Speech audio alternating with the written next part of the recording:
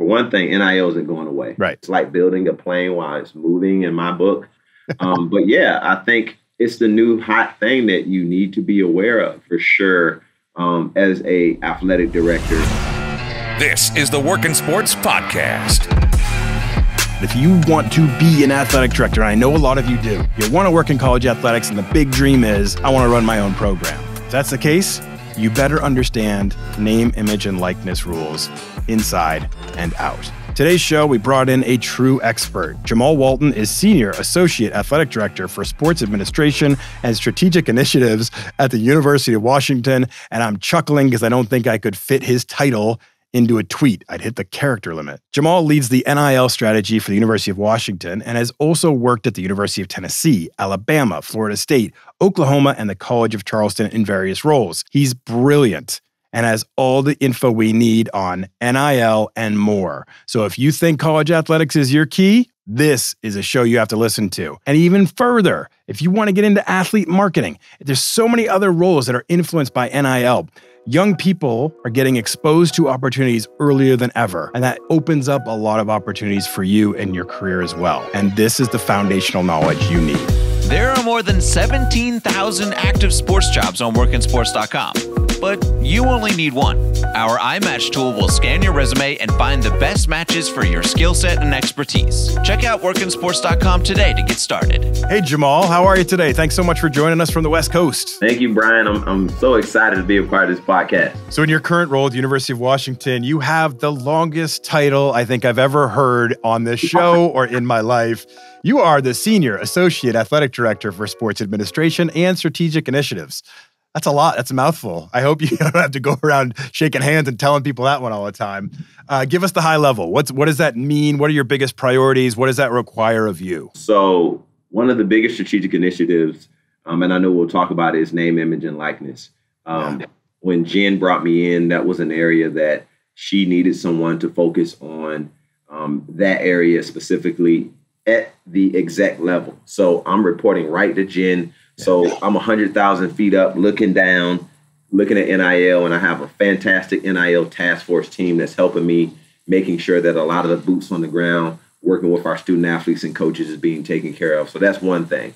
Um, from a strategic initiative. That's, a, that's a, big thing, yeah. Yes, yes, it, it's a is a very big thing.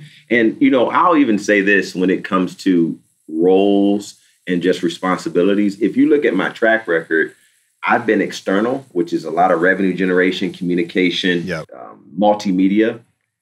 This job is a little bit more internal, working with compliance, working yep. with academics, working with legal, working with um, somebody may say, why would you do that?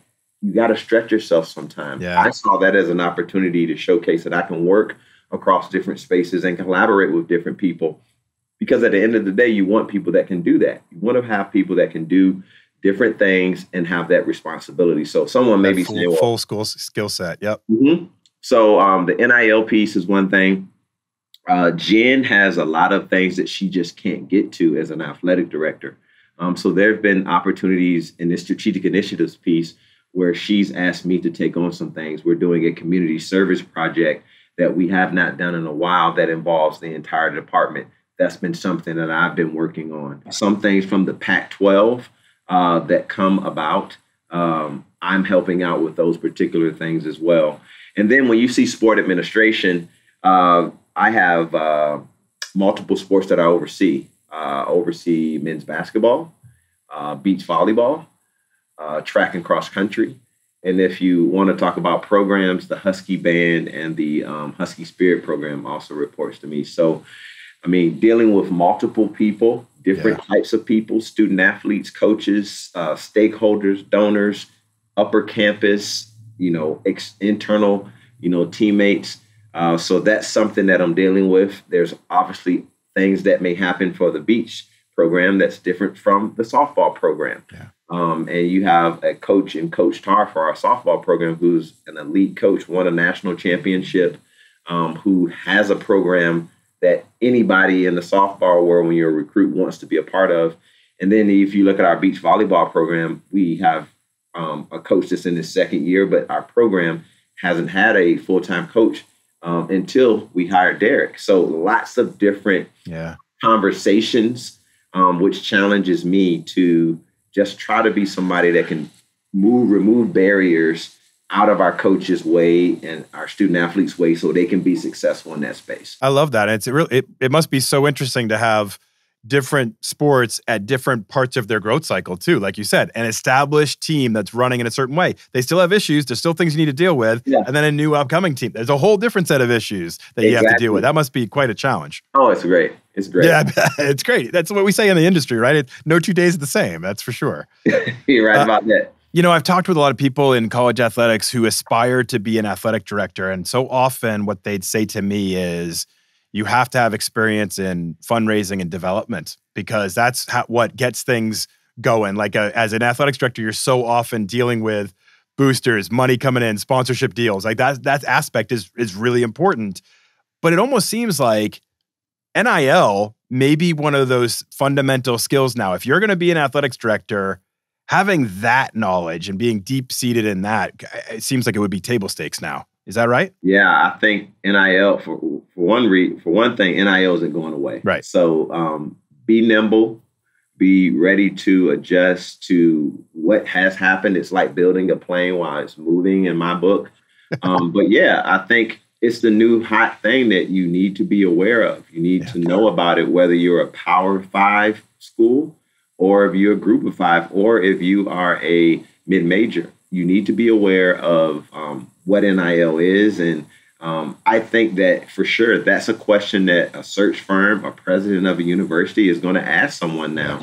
What is your plan for NIL? Um, and sometimes it doesn't need to be um, that grandiose. You know, it, it could just be for some schools working with campus, finding what your um, donors and your alums can offer, you know, from a program standpoint. Because in the state of Washington, we can only provide education and resources. So I cannot um, sit down, negotiate, facilitate a deal. Right. But education and resources, at the end of the day, here at UW, we want to provide the education and resources for our student athletes if they want to be involved in NIL. Some of these kids may not want to, and that's okay. You know, it's a choice. Um, but yes, you are going to have to have talk to about that for sure um, as a athletic director, along with multiple other things, not just um, NIL. Like you said, the development piece is Yeah. always key, but I think it's so many other layers you need to be prepared. There's so much that goes into it. Yeah, Yeah.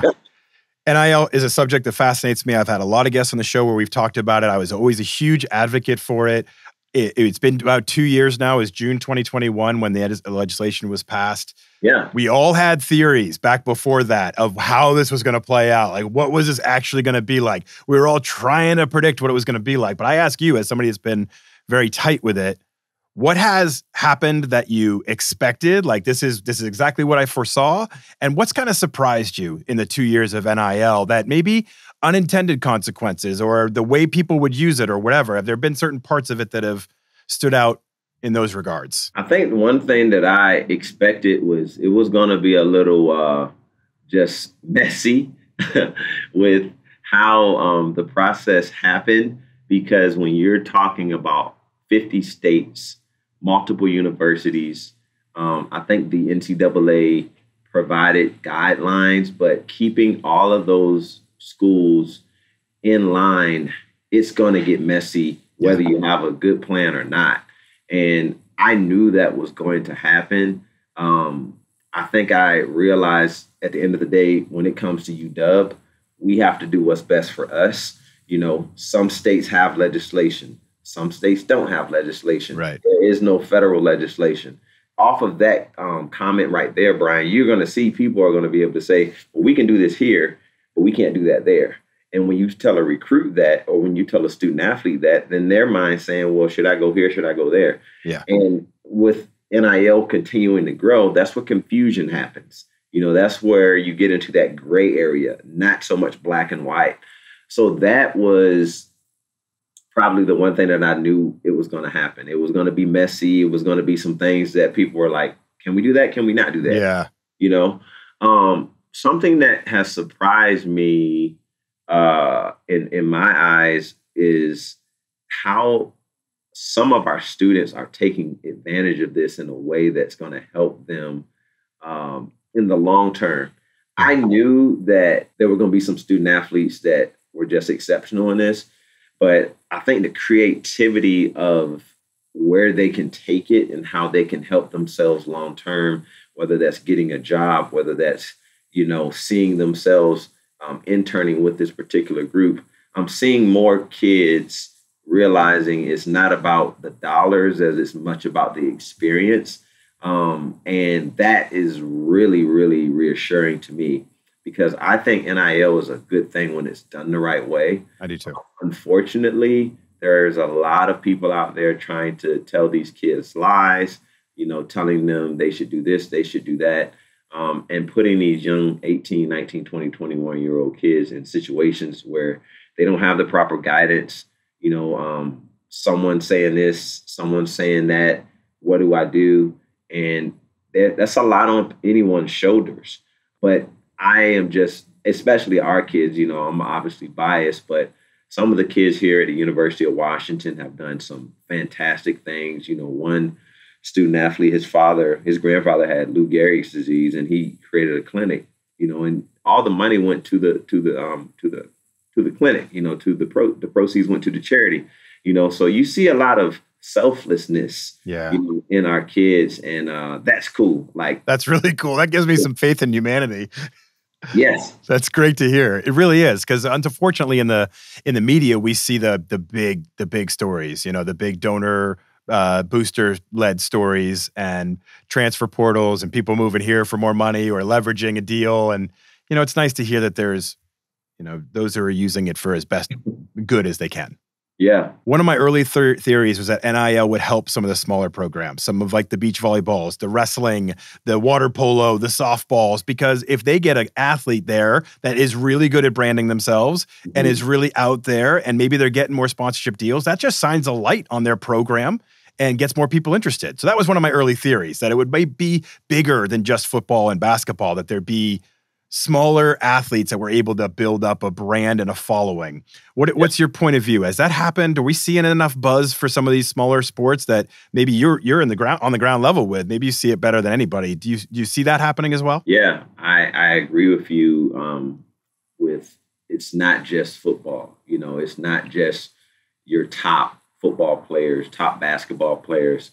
We have some rowers here who are doing some great things in the NIL space you know, we have some folks in track and field that have better um, social media followings than some of our top players in, in the footballs and the basketballs of the world. I love that. Um, and we also have kids that probably are right now on the bench or probably a third stringer that are doing better because they're investing the time, you know? Yeah. So that's another thing. Uh, you don't have to be you know, the Barry Sanders or the Deion Sanders. Um, well, prime time's Colorado now. I guess you're speaking my yeah, yeah, we can't talk about Colorado anymore. But you're speaking uh, my language as far yeah, as those guys' heyday. you know, you know, you don't have to be the top dog in a lot of these situations um, where you can be successful in NIL, and I think that's the cool thing. A lot of these kids are realizing and leveraging. You know, I'm from Virginia Beach, Virginia, so some kids are saying, "Well, I have um, uh, a lot of uh, opportunity back home. So maybe I can go back home and do something. Yep. And whether you are, you know, on the beach volleyball team or whether you're on the basketball team, when you come home, you're home. And I, I think a lot of kids are taking advantage of that. Um, the the women, you know, the women in this space are doing a fantastic job, which is great, and it's elevating who they are, um, which is which is fantastic. But yeah, I think the smaller Olympic sports are doing very well. Um, the young ladies in this space are doing very well.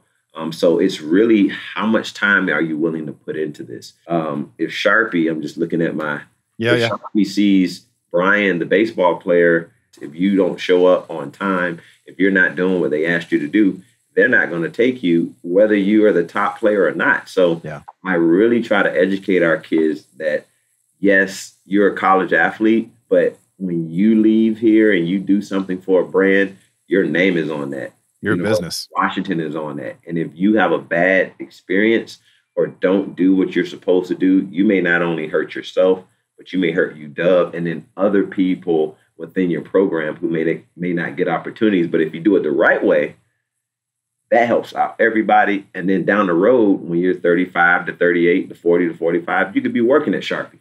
Yeah.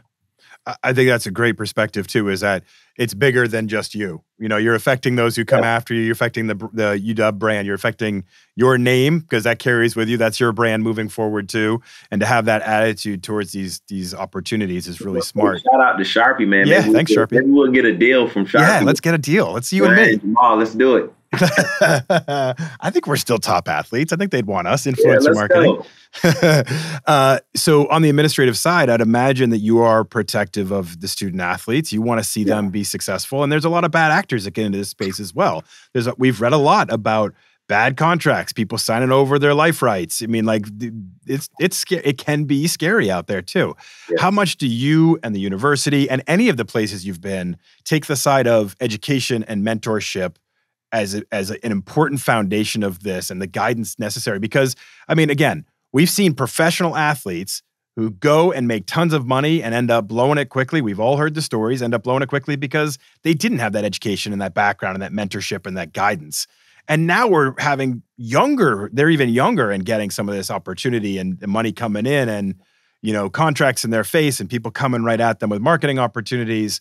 How important is you guys for to take a education and, and mentorship standpoint? Yeah, that is the priority. Um, so just to walk you through a couple things, when we start the year off, we meet with our teams and we go through an educational um, uh, module that basically explains who we are as an NIL team here at UW. Um, we talk with them about everything from the basics when NIL started, um, what uh, we offer from an educational standpoint. And then from talking to them on the foundational things, we talk to them one on one if they're interested, you know, to talk a little bit more in depth. So, team meeting, one on one meetings. And then we also coach the coaches up because that's important yeah. too. Um, we offer multiple things with, within our athletic department. We have a great campus relationship. The Foster School of Business um, has an NIL class. Um, so we have about 40 to 45 students, not just student athletes, but students that can take this take this class twice a quarter um, because we're a quarter school, and that gives um, those student athletes an opportunity to learn and see the curriculum that is NIL, whether that's finances, whether that's um, uh, marketing and branding, yeah. whether that's um, from the legal standpoint. But as you probably are saying, or others are saying, like you just said, 40 to 45 guys, Jamaal. Um, but at the end of the day, we also provide plenty of opportunities where we're bringing in different speakers, whether that's from campus or whether that's from some of our partners, to talk about um, financial literacy, to talk about you know um, those types of areas that are very important in the brand building standpoint. And we have brought in the TikToks of the world, the YouTubes of the world, to talk about branding. We've leveraged our um, alumni base yeah. to also talk about branding and just what NIL is, things to watch out for. We've even brought in agents um, of NFL players or NBA players to talk through things that they should be looking for um, within contracts. Uh, one of the other things we're fortunate of, we have a partner in Opendorse. Yep. Uh, who provides a lot of opportunities. We have an Opendorse marketplace where our student athletes can find deals, but also educating them with resources that the uh, platform has as well. And then Adidas has been a fantastic partner. Um, they have helped us in the NIL space, but from a branding space um, and from a marketing space, they're they're fantastic. So those are some of the things that we've been doing. We also have investments from our Tyee Club. Um, we have a Tyee subcommittee. We have um, alumni that are invested in NIL, and they come um, to those meetings asking what can they do. You know, yeah. we actually put together a brand summit um, last uh, last year where we invited 50 to 75 um, local businesses from Seattle, where they were able to come in and listen and hear um, what NIL is and debunk because there's a lot of myths out there, but debunk a lot of myths and also hear from our student athletes. You know, hear what their stories are and why they want to be in this space and how a business can help them um, be successful in this space. So, um, those are just a few areas from an education and resource standpoint. And, uh, you know, we, uh, it's, it's a lot. You know, um, we have a great campus marketing and licensing team on the Hill on Upper Campus who talks about certain things. You know, one of the one of the things that the common things that uh, our student athletes may have trouble with, and I'm sure this is across the country. Um, I'll paint this example. I know he's not uh, no longer with the Seattle Seahawks, but I'm gonna use him for an example. But Russell Wilson, yep. um, obviously was a Seahawks quarterback. Delta Airlines was the, uh, or maybe still is the um, airline for the Seattle Seahawks. Mm-hmm. Alaska Airlines was the airlines for Russell. So anytime that Russell was promoting Alaska, he never wore any Seattle Seahawks gear. Yeah. And our student athletes, by giving them that analogy, they see, well, why can't he wear it? Because yeah. there already is a relationship with someone else. Yep. So sometimes you have to really just sit down and make sure they understand it's not that University of Washington doesn't want to support you. Yeah, no, we want to support you, but there's certain things in business that you can and that you can't do. But by breaking those things down and actually communicating to them that on the front end, we help mitigate things where we have to say we got to actually have you pull that down mm-hmm. or you know what you can't do that now we don't want to have we don't want that to happen here we want to be helpful we don't want to be a hindrance i think that's brilliant it's so nice to hear um, we're, we're definitely sharing a lot of the positives that come out of nil and i've always been very supportive of it but there have been some negatives that have come out of it i think there's a lot of people that fear the pay to play aspect of it i mean we've read about where an athlete may be thinking about transferring, and the next you know thing you know, a sponsor or booster swoops in and says, "We'll give you a marketing deal," and it turns out to be you know cars, gifts, thousands of dollars, whatever. And now now they stay at the school, uh, right. and then it becomes an arm race of dollars. Do you think that enough is being done to close some of those loopholes, or is that still an ongoing problem? And I'd say that not specific to UW or anybody, just in your experience of NIL nationwide, because to me that presents a, a, a problem that that should be have some attention to it because we don't want it to become just like SMU in the 80s where it was whoever could yeah. spend the most had the best team. Yeah, I, I, hope so. You know, um, at the end of the day, you know, here at UW, we try to control what we can control. And I feel we're doing the best in, in that area. Um, I, I always make sure that we educate our student athletes to understand if somebody asks you, hey, I want you to do something for me. I have a deal. And if they tell you what it is and it actually goes against your values, you probably don't want to do that. Yeah. I know that sounds like simple, but it should be that simple. You know, if you realize that you're taking a risk to do something that can affect your future, um, and you know it's not the right thing, you shouldn't do it, you know. But you're right, there's agents, there's family, mm-hmm. you know, um, I commend the coaches that if someone walks in your room or your office and the first thing they ask you is how much are you going to pay my son or my daughter? Yep. I don't think that's the type of person you want to have in your program or or family you want to have in your program. You know, at the end of the day, that what I truly believe is, you know, NIL should be an addition to just getting a degree, you know, being successful um, in your sport that you play. Um, and if NIL is something you want to do, you should do it. But if that's the first thing and the only thing, that's not the right way. And that's not what college athletics was set up to be. I hope they continue to put some restrictions on it and that this can be a system that works as, as, as idealistically as it should because i think we're both of the same mind frame it's like done right this is a beautiful system it really is and there's yeah. a lot of great benefits that come to it for a lot of people uh, done wrong it it can get pretty messy pretty quick. Yes. So we'll pivot a little bit. Um, I mentioned at the top that you've worked all over the place in college athletics. Um, working in college athletics can be a grind, and you got to sometimes mm. move out to move up, and you know to grow that way. Sports broadcasting, where I cut my teeth, was the same way. I had to climb up and go into different markets and work in different places.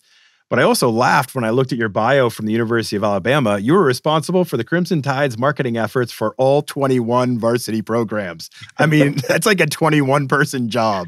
Oh, I mean, not everybody thrives in this environment. It's a lot. It's heavy. There's a lot to be done. There's a, a urgency and expectation.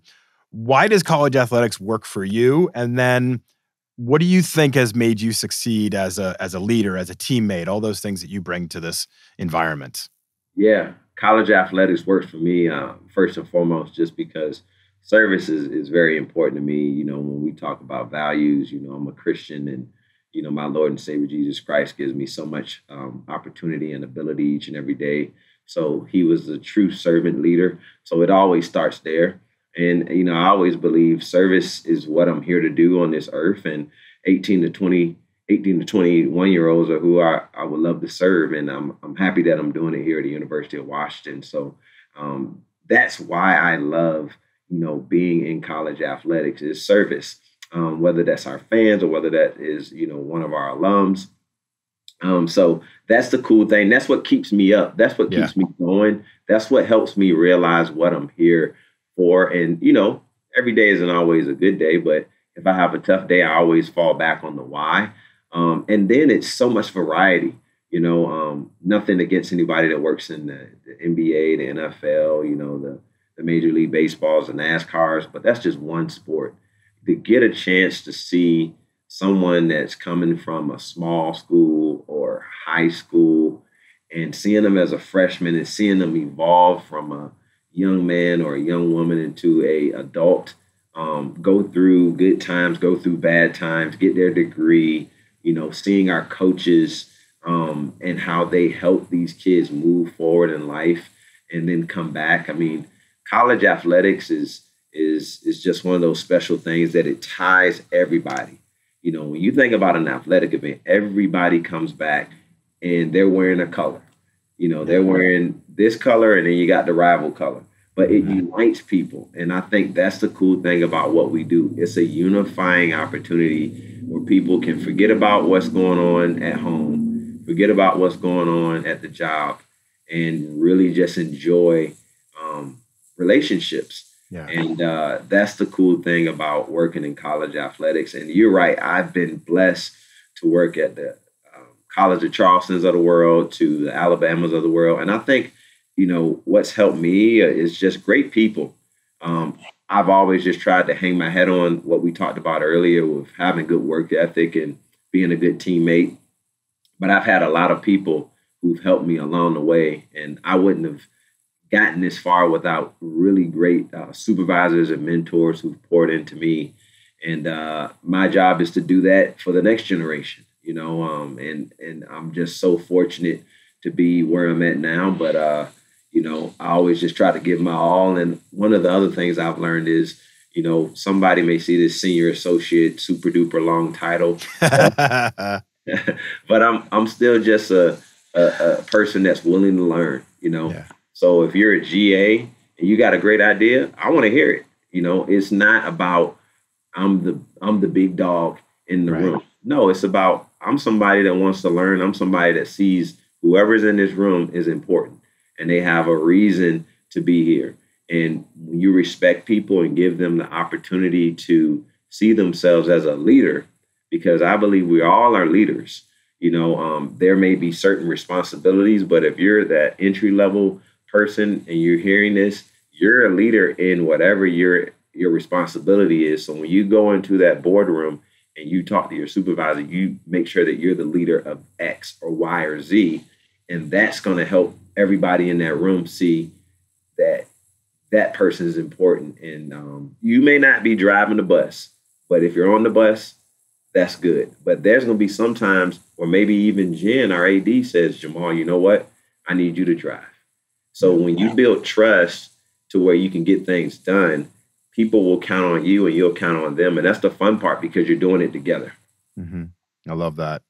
Jamaal, this is a great conversation. We'll finish up with this. You're talking so much about, you know, your growth in the industry. We talked a lot about NIL. Let's finish off a little bit of advice for those younger people who may aspire to be in your shoes one day, who look at college athletics and say, that's exactly where I want to be if somebody came up to you today and were like, hey, I, I want to follow in your footsteps, I want to be at a Power Five school, I want to be an athletics director, what kind of advice, what kind of a guidance would you give them to help set them up on that that path?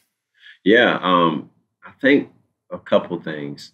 College athletics is is is a fun opportunity to be a part of, but it's a grind. You know, um, there are certain days, as you probably can see, the viewers. I have a family, you know, and you have to make sacrifices sometimes where um, you know, maybe I'm a little late here, maybe I'm a little late there. Um, but also having a great support system here where you talk to your supervisor and says, hey, this is important to me. I want to be here for my daughter. I want to be here yeah. for, for my son. So I think understanding there's going to be sacrifices.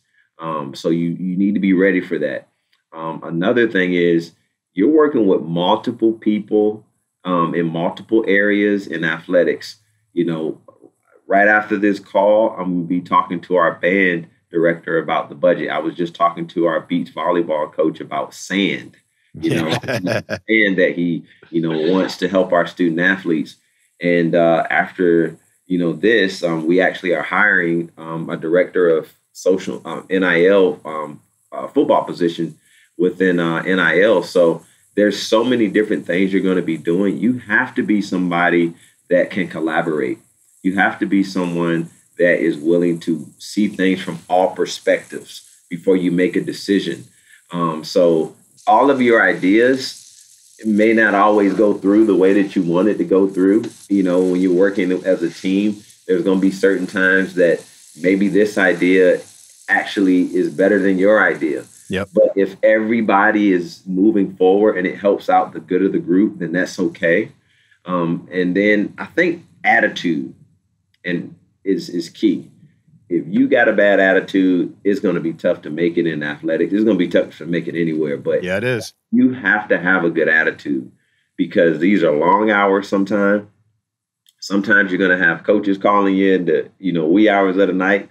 You know, you're going to have 15, 20 emails, and then sometimes when you have those situations, you have somebody at your door that needs your help you know, that that is looking for you, and you got to have a good attitude. Yeah. And last but not least, when it comes down to it, you need to be a solution-minded person, a problem solver.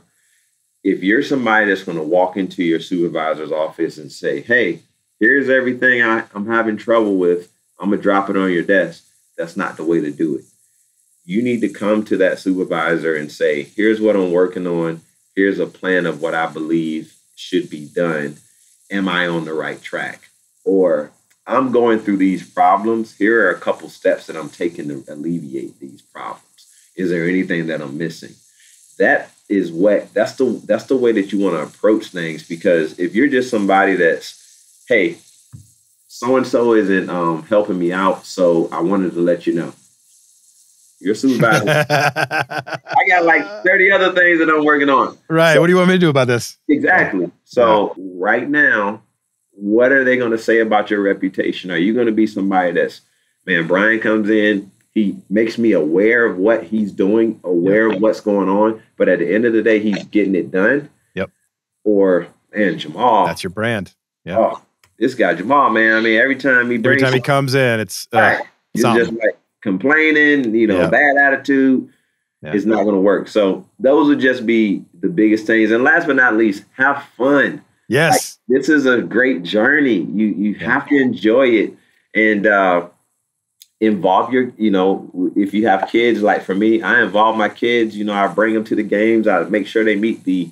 Uh, the, the coaches and you know mm-hmm. the mascots of the world. I think there's a lot of way you can incorporate your job and your family together you yeah. just can't be afraid of that. Um, and it's so important that uh, you just realize that we only go around this place one time. So have fun, have a great attitude, and enjoy the ride. I absolutely adore this advice. Think it's fantastic. One of the things I say a lot too is like, you got to celebrate the successes. Like, so often in this industry, you do something great, you have a great night at the game, uh, some activation is wonderful, or you get a bunch of people to do exactly what you want them to, you sell out, whatever. And then it's like right on to the next thing. It's like, no, right. you got to take a breath and enjoy this. You got to be like, yeah. we did good. Like, let's enjoy this moment. I mean, that's a big part of this. Right. No, uh, I love it, Brian. This is oh, great. Oh, this is great. This is such a great conversation, Jamaal. Thank you so much. This has yeah. just been so great getting to know you and to have this discussion. Yes, sir. Appreciate it. Want to land more job interviews? Use WorkInSports iScore tool to see how your resume compares to a specific sports job and get instant recommendations on how to improve it. When your resume matches the requirements of a job, you're going to be in demand. Only available on workinsports.com. Thank you to Jamaal for coming on the show. Really enjoyed that conversation. I will say, I like taking a theme and going deep on it. And there is value in there for everybody when it comes to NIL. This is one of the most important things happening in our sports business right now. It influences a lot, a lot of things moving forward. So, great to go dive deep into this topic. Thank you for listening, everybody. I hope you got a lot of great information out of that. I did. I learned a lot from Jamaal. So please continue to listen, rate, review, subscribe. All that's super important. And I'll be sure to see you on Monday.